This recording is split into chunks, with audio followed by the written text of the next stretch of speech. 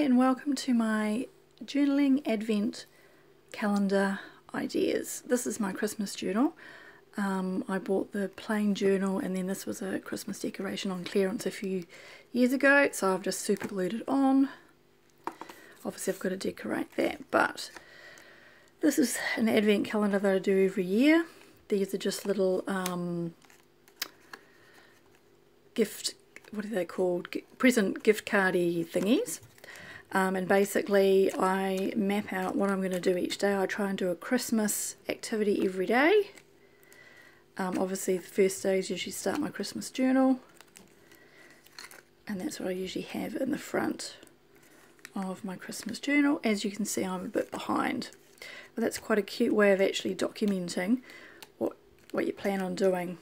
Um, and I've got activities such as go to the Christmas market, um, start wearing your Christmas pajamas, start wearing your Christmas t-shirts, reading Christmas novels, watching movie Christmas movies, you know, all the usual stuff. So I just wanted to show you that. It's a real simple and sort of a fun way to start off your Christmas um, journal.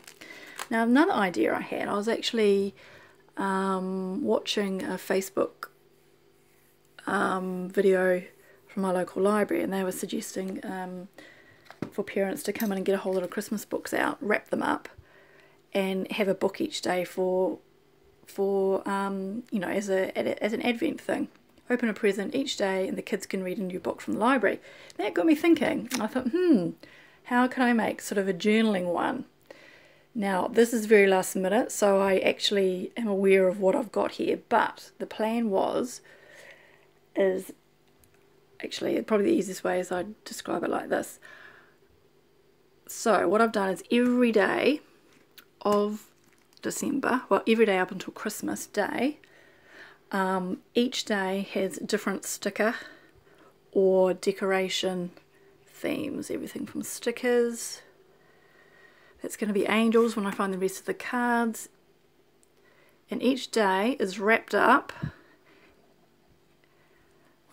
and I open a present each day and everything is journal related. Um, I've added a few extra things in as well.